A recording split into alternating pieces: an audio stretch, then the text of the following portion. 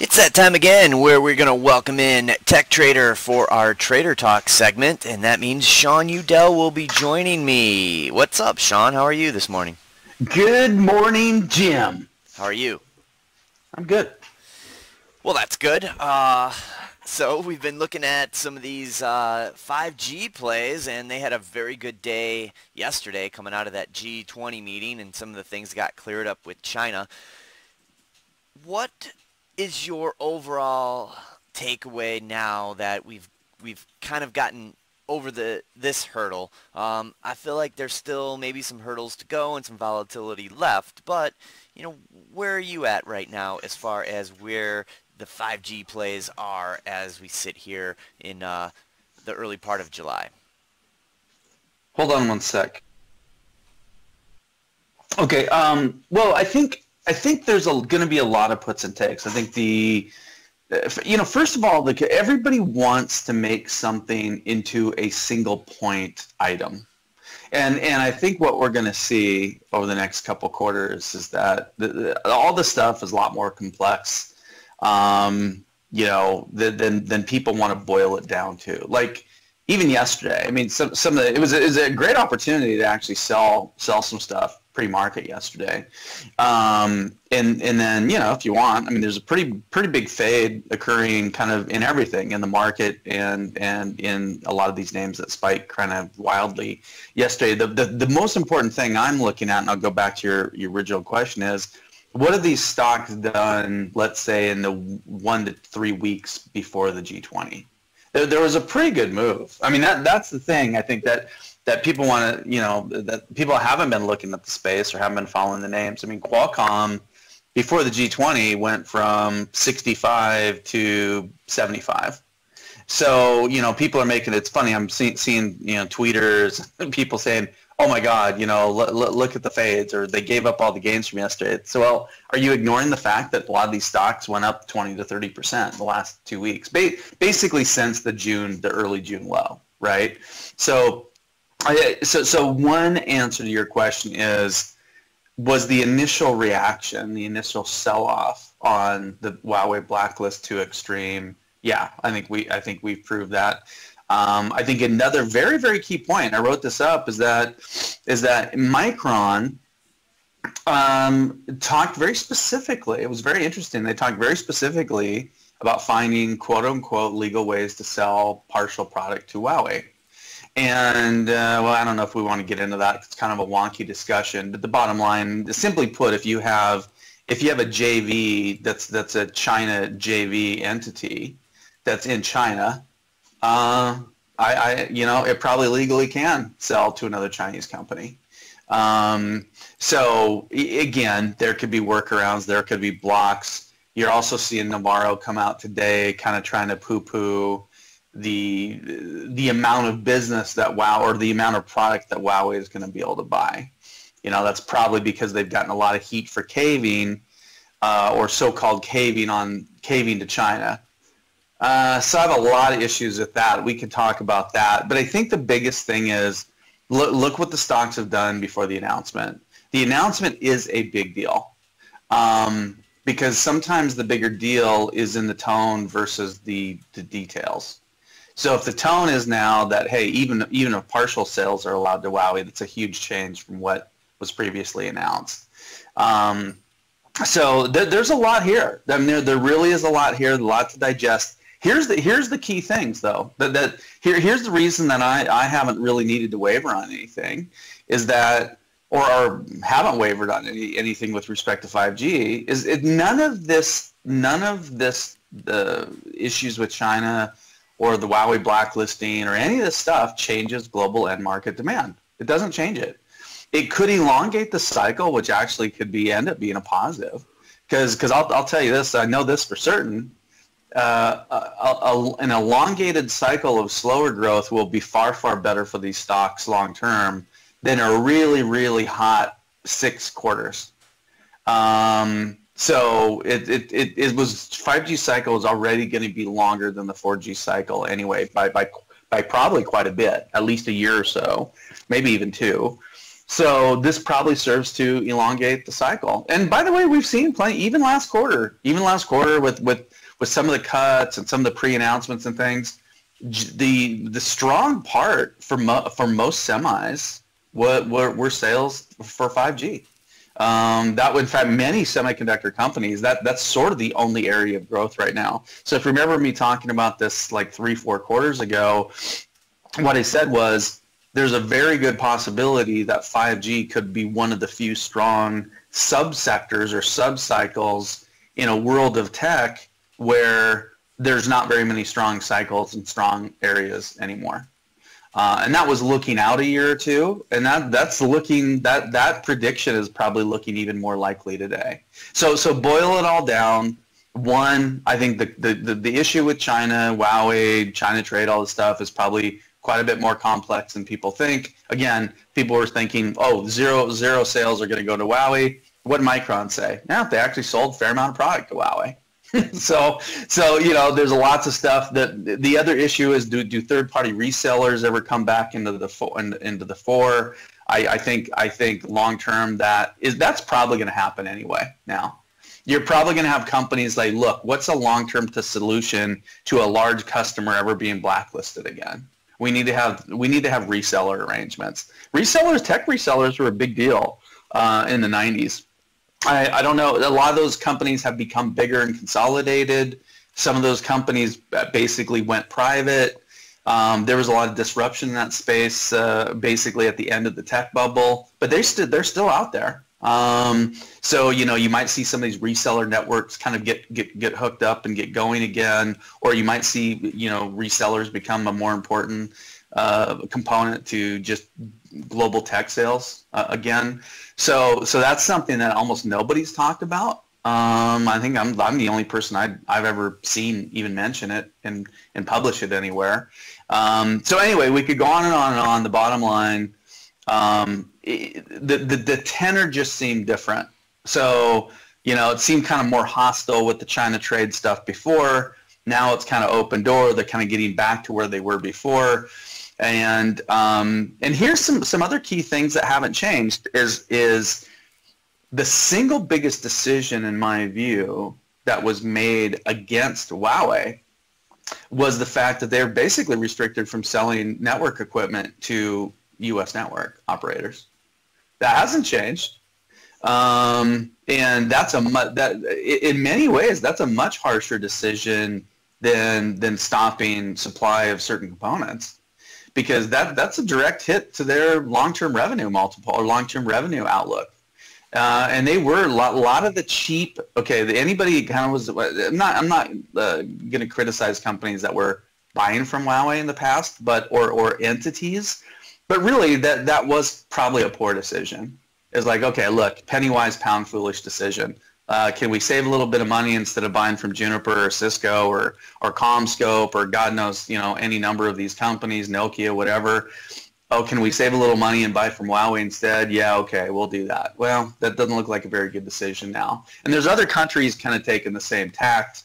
Uh, basically, everybody kind of got sick of Huawei. Huawei's been a bad operator for a long time. I think I talked about the fact that the company's foundation was basically copycatting Cisco routers and to, to such a degree, to such an exact nature, that they shipped the Cisco operating manual with the router. So, and that was in the early, early the mid 90s that that was happening.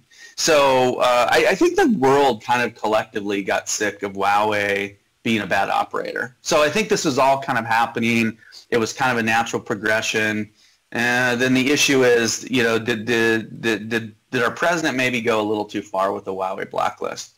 I, I kind of think he did, because it's sort of like if you're if you're going if you're going to go to war with somebody, do you want to give them your key strategy out in the open, you know, or would you rather kind of keep it secret or work behind the scenes? I mean, I don't know. I don't know about, about, about winning wars and things like that, but my view would be, look, let let's save the nuclear armaments for later, and let's let's save our best, like let's save our ace in the hole till we really need it and we kind of put the you know we kind of we kind of put the the we kind of threw the nuke first uh, and, and, now we're trying to you know uh, do a little easier fighting if you will so anyway th- this is all going to work out Um, there's going to be trade to China.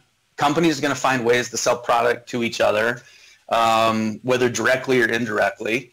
Uh, and it doesn't change global and market demand. It does change some numbers. I mean, there's no doubt it de- definitely changes some numbers.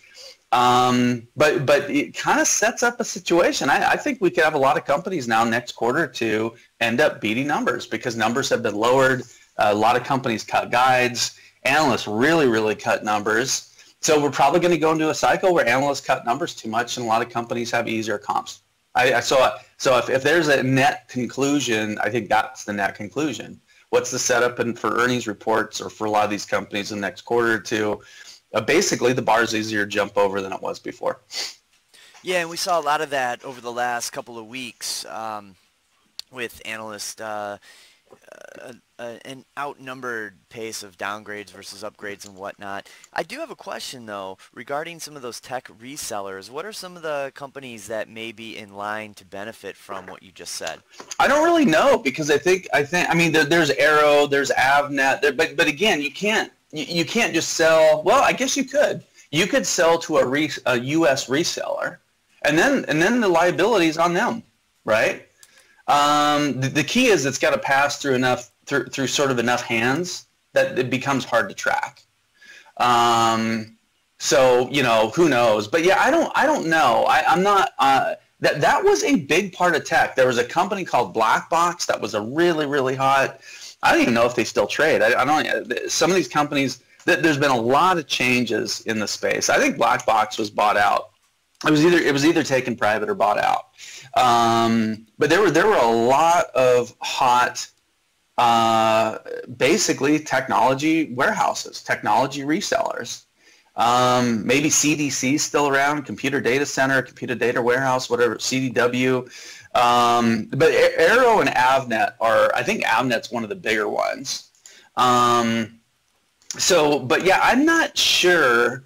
My guess is the, the, the ones who would probably benefit more are probably a little smaller under the radar, have lots of tentacles, and are private companies. That would be my guess. The, the big publicly traded guys probably have to be a little more careful.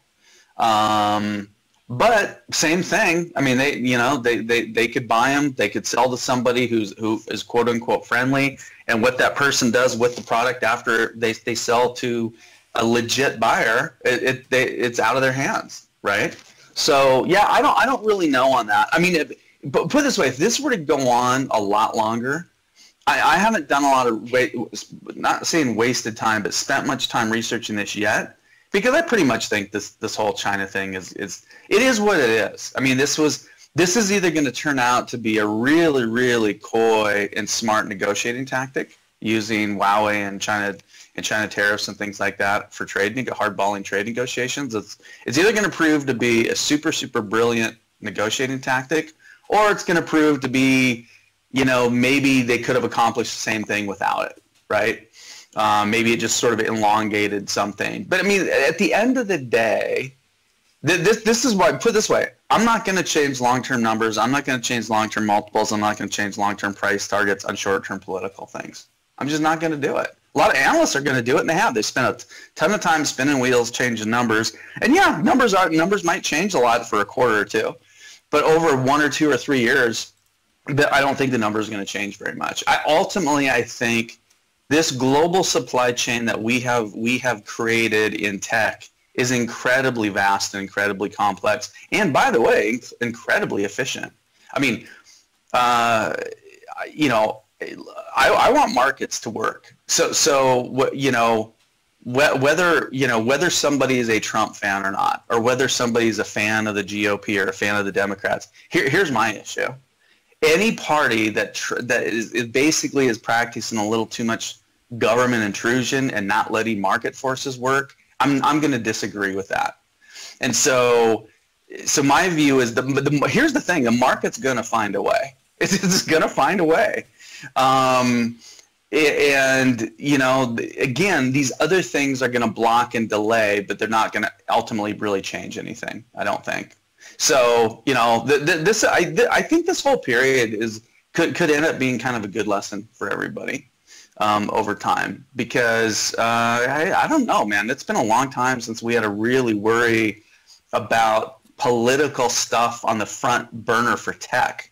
Um, now, there's been some legitimate issues. I think I think a more legitimate issue would be things like DOJ actions against Google and Amazon and stuff like that. That could be very long lasting and very and very um, uh, sort of course changing for, for those companies, um, just as it was for Microsoft for a very long time. But I, th- I think anything that we can kind of boil into a broader trade negotiation, I think it did, the deal also ultimately gets cut, and um, and so we'll just we'll just kind of go go from there. Um, but yeah, I mean, I think, like I say, I, I don't think global end market demand going to changes, but obviously some stuff that was going to be done and shipped and built uh, for the last, let's say, quarter or so has been delayed. And, and you know, I mean, it has, does have some lasting. I mean, MTSI has been a case in point company. They've had some pretty lasting impacts. I mean, it, I mean, when did China trade start or the trade issues? I mean, this has been, this is roughly Q4 of this now. Um, maybe even a little longer, but, but it's for sure Q4. And there have been a fair number of companies that are missing anywhere from five to sort of 20% of their business for more than a quarter or two. It's probably probably not five quarters, but it's probably two to two to four quarters, somewhere in that in that range. So again, it's it's not like you can't ignore it, but you have to use it as as at least I'm using it as a, sort of an opportunity. And the, the question is, how do you wait? How long do you wait? What do you do from a timing perspective? Things like that. But but the biggest change to me has sort of been happening really since the China blacklisting, the lows that a lot of stocks made, and then that's the subsequent kind of healing. And most of that healing of many of these companies and charts has occurred basically into further bad news. I mean, look how Light's done even while they've had a pretty material guidance cut. Uh, and that stock was 57.50 yesterday morning, and I was buying some as low as the low low 41s. So you know that's just that's a case in point of a really good example of a stock that overshot a bunch of them. A bunch of the other ones did. Um, I'm kind of looking at Acacia right here, right now. Uh, pretty big fade. Again, I'm not sure who was buying that at 54 and change yesterday morning, 54.50. You know, maybe a desperate short that had a cover. But at the same time, you know, I, I really think that stock should have been up because should it have been, been down? I mean, this is a company that has, has, has posted and put out a press release that I think their Huawei exposure is something like one, it's de minimis, de minimis. It's like 1%. And yet that stock's been hit as hard as anything um, with like, I mean, Light Light has 12, 14 percent Huawei exposure, and I'm pretty sure the net the net percent decline in Acacia is probably about similar. so so that's the other thing too. That there's that's why I talk. There's so many complexities and layers here, because some of the stocks have gone down a lot, eh, haven't really had much Huawei exposure. Um, it, it basically, the market has kind of treated all these names the same, whether they've got 5% exposure, 1% exposure, 14% exposure. They've all, they've all pretty much been treated the same. Um, except NeoPhotonics, which is 45% exposure, that, that is a real, you know, there is a real threat to long-term viability. I'm not sure the odds of that threat to long-term viability, but that, the hey, that's a spooky thing for them. If, if, they, if they lose 45% of their sales, to, they basically they lose their biggest customer can they maintain the business? I'm not, you know, hey, I don't know. That that that's a spooky one. Again, ultimately think that that they probably end up getting a lot of their sales restored, but they're hey, that they're, they're one they're one company that's that's white knuckling it through this period. I'm sure they're it's very uncomfortable for them. Uh, and I feel for them because they, they were poised to have a really good cycle. I mean, that's the, the biggest unfortunate thing for them is they had the right products, the right time. They planned for this very well. Um, they've been very good. I mean, hey, they haven't had their IP stolen. They've been they've been a big seller to Huawei pretty much in the, the, the entirety of the company's existence, and they've have a very good working relationship with the company. And again, as far as I know, Huawei hasn't uh, you know hasn't pulled a fast one. You know, and, and, and, and I think in a lot of ways, I'm not saying Huawei is a great operator right now. Um, there was some guy on CNBC just today that won a suit against them but I do think Huawei has been more friendly stealing. I mean, I think they've just had to get better over time. I think and they lost that Cisco suit many years ago. I, I, think they've been a better operator since since they lost the Cisco suit. Again, that doesn't mean they've been perfect, um, but again, market forces work. If you let the market forces work, I mean, hey, if the tech world collectively knows that dealing with Huawei is dangerous, guess what? They quit dealing with Huawei, or they take different precautions when dealing with Huawei. So, you know, a lot of this stuff has kind of been known. Companies have been dealing with this for a long time. But again, I, I haven't wavered. I'm very bullish on 5G, very, very bullish on the purveyors of 5G, the providers of 5G enabling technologies. I think it's going to be a big deal for IoT. I think it's going to be a big deal for driverless automation.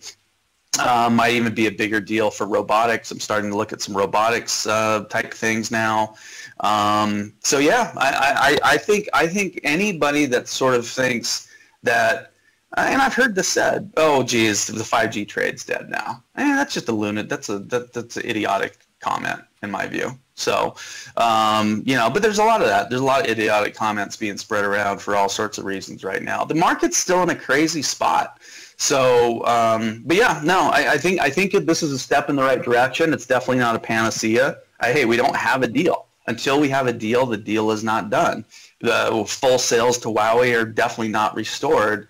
Um, but the tone's better, the texture's better.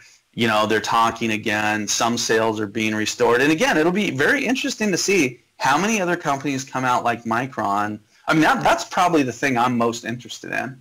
How many more Microns do we have out there that talk about that they didn't lose 100% of their sales to Huawei? They did find ways to sell legal, legitimate product to Huawei. Um, and by the way, you know, for a lot of these companies, Huawei is not their biggest customer. So, so that's the other thing too. It's like how much has been made of something that's really not maybe a, a massive deal. Again, a massive deal to NeoPhotonics. I would say if you get 10, 12% exposure, it's material, but it's not, it's not life altering for these companies. So, you know, it, the, the market loves to pick on things and make a bigger deal of something than there is. I think that's what this whole thing ultimately is going to boil down to. I think people will be pretty surprised where a lot of these 5G stocks are trading in four to six quarters from now. All right. So speaking of, uh, what ones do you think still have some opportunity here? I know you had talked about taking some profits in some of these names, but um, we did get a nice little pullback. So is there one that you're thinking about reloading outside of Acacia? Um, the, one I'm probably most interested in uh, that we haven't talked about a whole lot is CommScope. Um, I think I've written a few notes on it. Um, but it's you know the, the biggest issue with there with them is is they they were proud they had 5G product and they have 5G exposure just as they had 4G exposure but they needed to they, they felt that was a weakness for the company. So they went out and they bought Arris and they paid about seven seven billion for Arris Arris doubled their revenue base. So so CommScope was a company of about four and a half five billion in revenue before. Now it's a company of on, a, on, a, forward basis uh, 10 to 11 billion in revenue now um, and funny things happen CommScope's market cap hasn't gone up at all um, in fact it's gone down uh, the stock was sort of a 22 to a 27 dollar stock. It was as high as 42 before the Arris acquisition was ever announced. And oh, by the way, um, so they basically doubled their revenue base. Uh, yeah, they took on some debt, but they, they managed debt.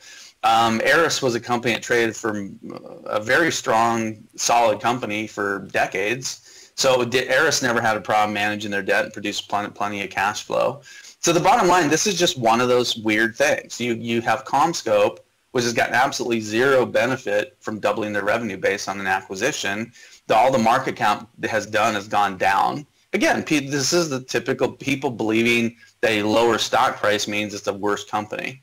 and, and so in my view, uh, I think CommScope's really incredible opportunity. I, and I think there's a lot of those right now it's it's uh, we're, we're, a weird market. I mean, it's it's CommScope is another one of these companies is basically the antithesis of something like a Roku or a TTD or a Mongo or something like that. The momentum stocks that go ever higher, the valuation doesn't matter because maybe they beat earnings by four million another quarter. So the, they beat earnings by four million, they guide three million higher, that collective $7 million in revenue adds another $8 billion of market cap to the stock or 2 billion or 4 billion or whatever. But yeah, you, you 7, 7 million in revenue beat equates to billions in revenue or billions in market cap of upside. It's completely nonsensical. So, you know, the valuation of CommScope is probably nonsensical. However, will the company see a benefit from the deal until they have some kind of a positive catalyst? Because in the absence of buyers, uh, the machines push stocks ever lower. The, the, machines don't seem to care about fundamentals at all. Uh, I think they used to. I think algorithmic programs were kind of programmed with certain fundamental discipline, if you will, in the early days. It seemed that discipline seems to have gone out the window, and now it's just there. They worship the altar of being able to take whatever micro pennies on whatever trades that they're able to to uh, to get in front of. And so uh, cheap stocks go cheaper, expensive stocks get more expensive until something breaks. So I think CommScope, you know, I'm very content to kind of nibble away at some here and there. I think the, the value is pretty incredible. Doesn't mean it couldn't go to 12, which would be a more incredible value. But hey, I liked a stock I liked at roughly 0.7 to 1 time sales. Um, and, uh, you know, this was a pretty nice name for me, I think, earlier this year.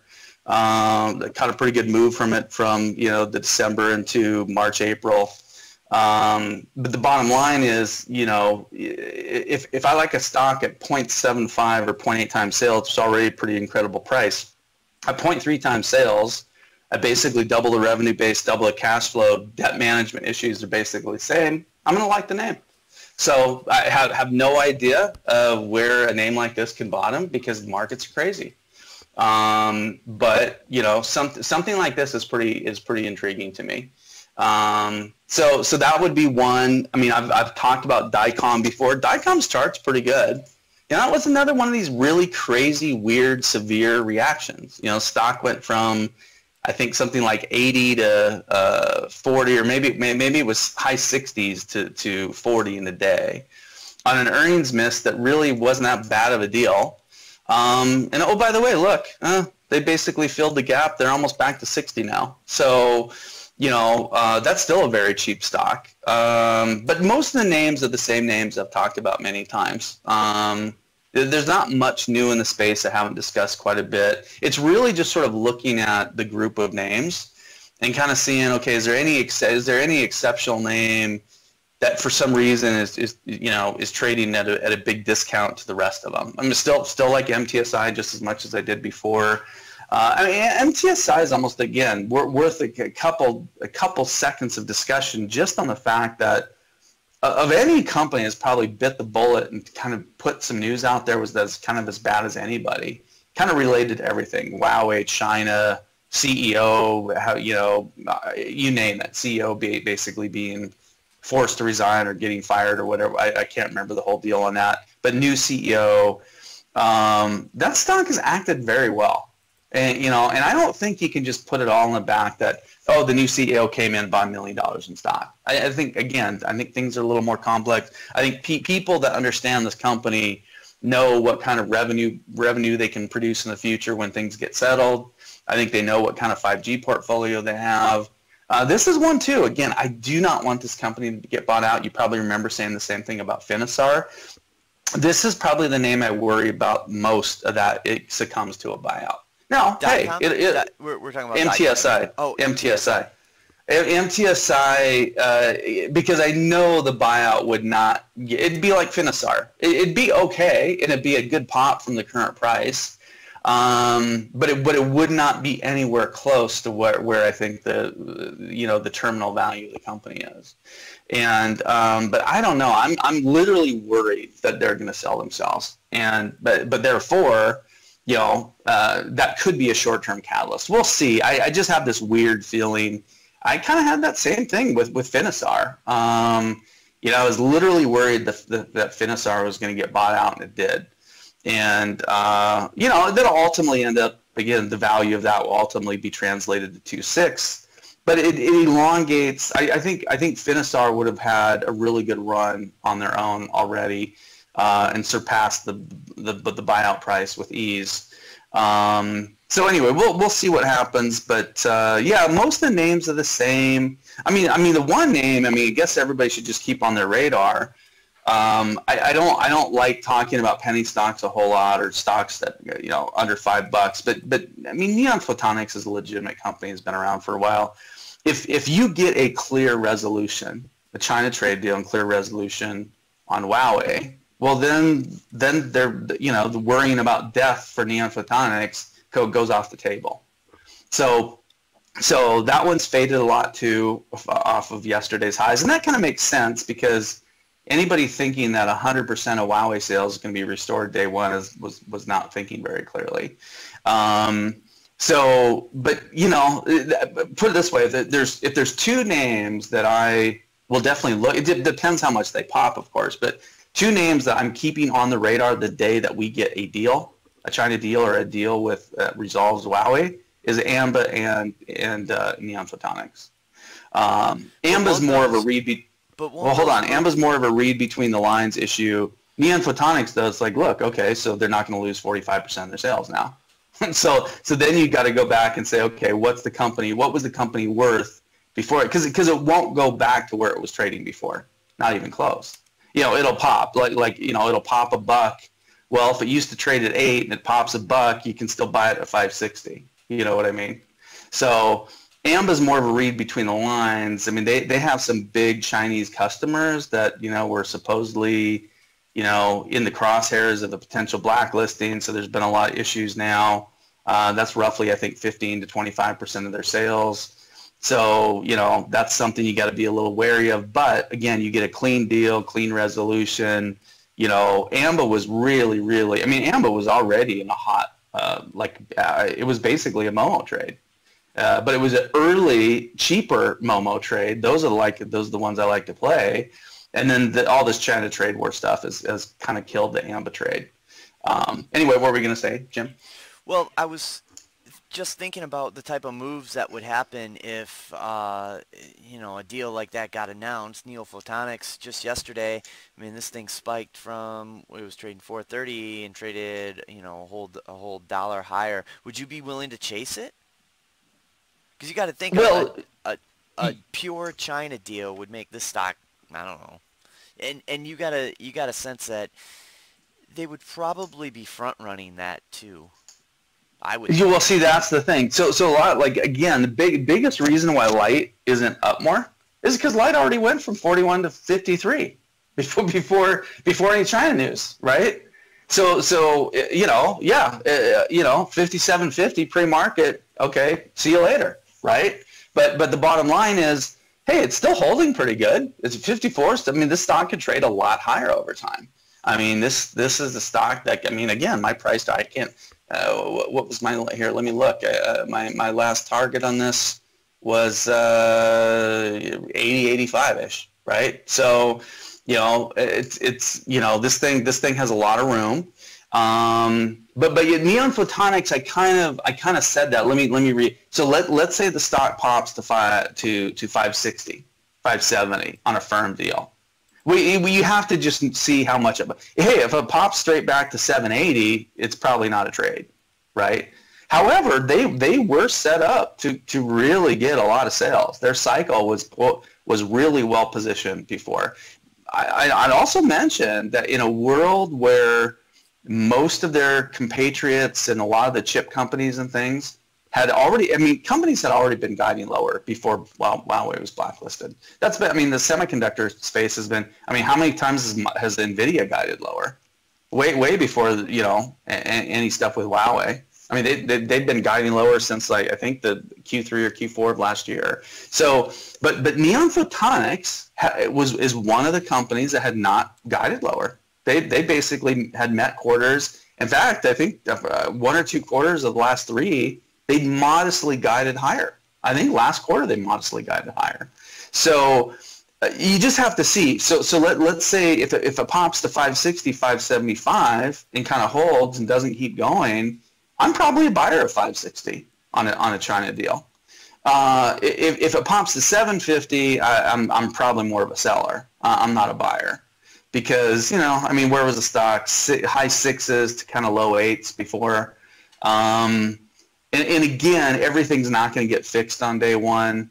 Um, even on a deal, even on a resolution of a deal, there still might be some some handcuffs and things like that. But yeah, I mean, if the thing pops a buck, I'm going to say my, you know, my my my idea is going to be, hey, I'm willing to buy it at 560 to 575 because I think the stock's worth eight or nine bucks again, pretty easily.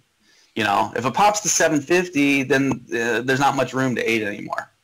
Um, so the, the reason I mentioned Acacia earlier is because, again, this Acacia has just been this weird trade that it's basically it's basically traded like one of the 15% exposed names, even though it's one 1% exposed. Now, I know enough to know that they were also set up to probably get a pretty good Chinese burst, if you will. I don't know if that would have been sales to Huawei. It would have more been sales into the largest telecom operators. Now, does that translate? Does that mean it goes through Huawei and ZTE first before it ends up at China Telecom uh, or China Unicom or whatever? Or does it, are there sales straight to the Chinese vendors? I, I honestly don't know. Um, but the bottom line is uh, there could be some legitimate fears that the Huawei blacklist either delays or crimps some of those Acacia Chinese sales that were were they're they're still set. I mean, they're still they're still in the mix for those. But but you know, does that potentially hurt that? That that was going to be a short term kind of a two three quarter burst, but it was going to be a nice chunk of revenue. Um, you know, uh, to me, the Acacia story is really it's the anti-Acacia story of when I was negative on the stock, where they had uh, something like 60 to 80 percent of their exposure or sales were to ZTE. And so the big bear case on the stock, and I, this might have been pre-briefing time for me, but the big bear case on Acacia at 120 bucks, and I was I did short it then, was that look they they have a major diversification issue, and i.e. they have no diversification. They're banking on uh, a, a very very heavy weighting the sales to ZTE. And Acacia has done a very, very good job of diversifying their revenue base, and ZTE is not even one of their top. It's a top 10 customer. It's 10% customer. I, I don't think uh, ZTE is even the top five for them anymore. It may be. It may be. But, you know, so what's Acacia done? They, they've basically gone from 80% China. And by the way, what wasn't ZTE was other China sales. So they've gone from 80 per, 85% China sales to probably 15% China sales in like two years. I mean, it's been amazing. Uh, and what, what's happened is they just won a lot of business. They've won business the U.S., Europe, Canada, you name it. So, um, but that, that, that is a weird, of all the sell-offs that we've had, that 60, maybe it was a smidge hot at 60, but not really. I mean, that's just a weird sell-off, 60 to 45 with 1% Huawei exposure. Again, market's weird. It, a lot of these companies, they get these low liquid, they go into this, what I call buyer strike phases. So they go into a buyer strike. There's nobody really buying them. They just get beat on. The machines just sell them every day. Um, in the absence of in the absence of institutional buy sides uh, buying, um, you know, the stocks get machine lower. It's just the way of the world now. It's the way the algos work. So uh, you have to be aware of that when you're when you're accumulating these positions, and you have to be aware of what happens on the other side when those these stocks finally start getting bought, they go up huge, what, which is like what Acacia did yesterday. So, um, but yeah, as far as other ones, probably the only new one, or it's not really new because I've talked about it, but the only one that I would say I'm highlighting that I haven't talked about and written volumes about would, would probably be CommScope. I, I just think it's such an exceptionally stupid valuation right now, but that doesn't mean it can't get more stupid. But it's just it's uh, like I would say my odds of making money on CommScope are like very high. Um, does, doesn't mean I won't eat 10 or 15 percent before making a lot, but and and I think the eventual return is very high as well. Um, so I don't I don't know if it I don't know if it gets back to old highs. I don't know if it surpasses those highs.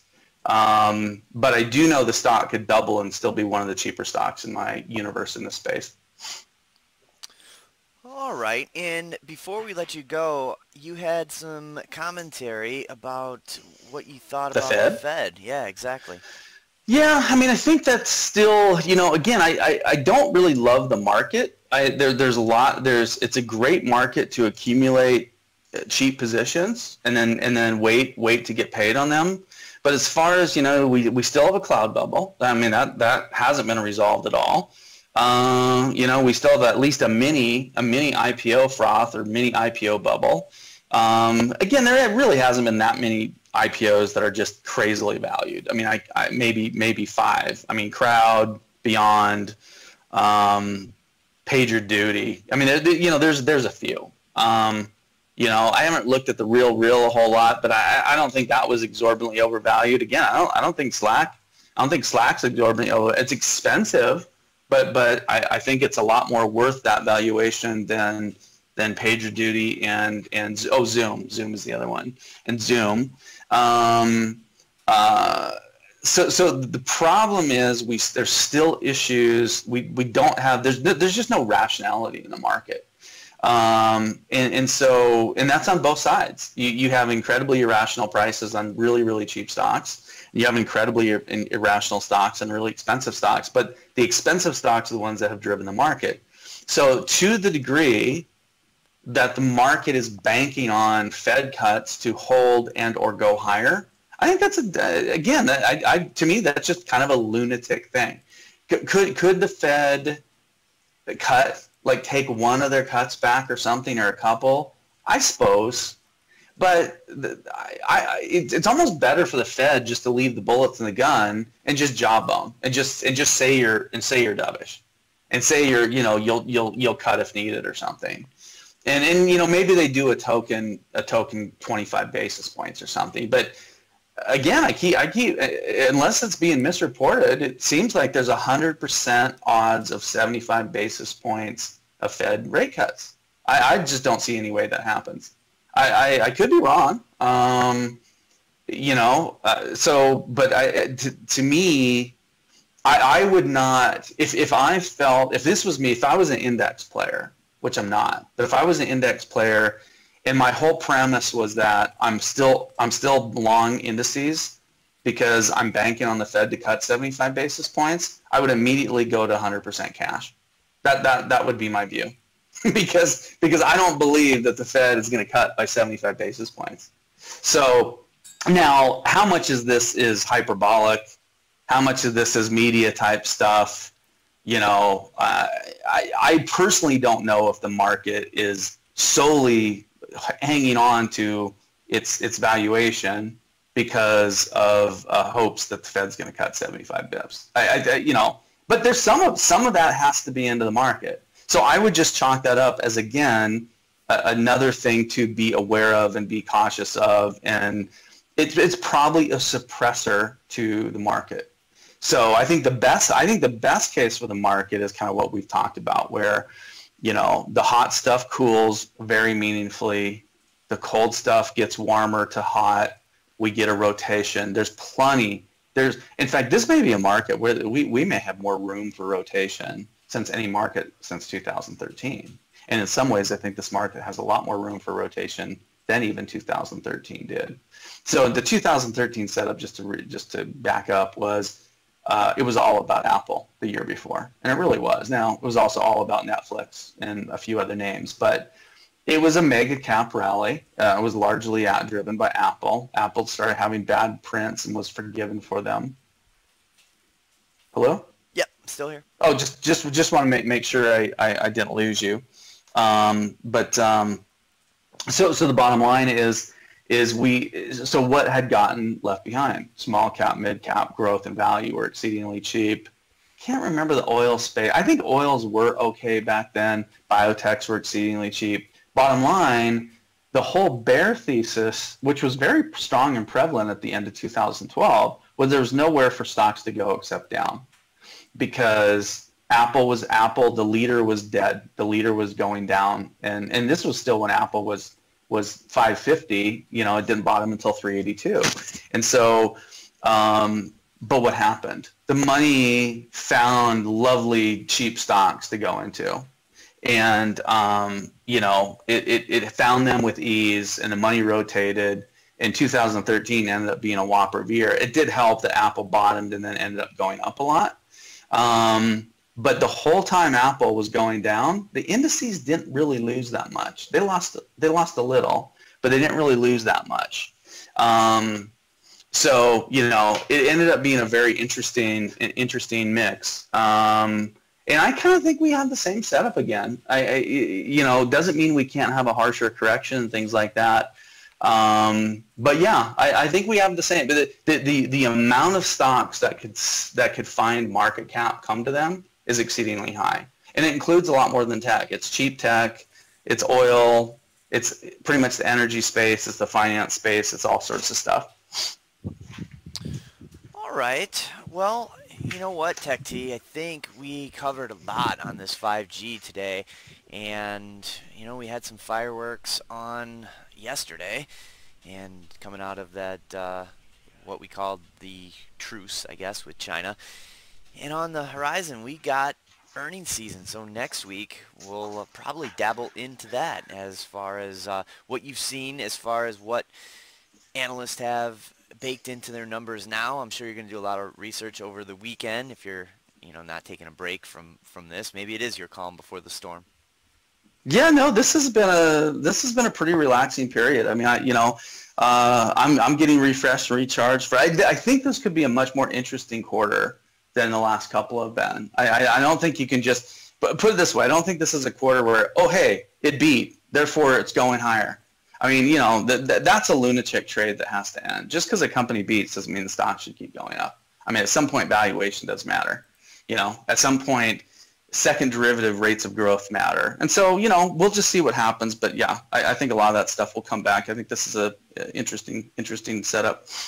All right, sounds good. Well, as always, although I still think it's two weeks away, I don't really think there's much in the earnings docket next week. Well, we got. Um, I think the the banks begin next. Oh, week. there you go. Yeah, I, yeah. For me, it's about two weeks away.